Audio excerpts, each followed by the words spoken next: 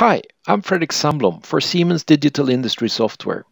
In this Siemens NX Scan to Part online trial, I will guide you through the superior range of tools in Siemens NX to perform direct repair on scan data of a broken down transmission housing and create ourselves an optimized digital twin as input for downstream repair, further design changes, or simply remanufacturing.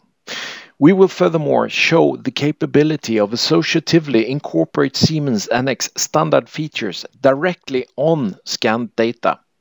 Finally, we will execute localized and associative reverse engineering to repair and optimize the design for further and extended optimal in-service performance, and where the result is even better than the original.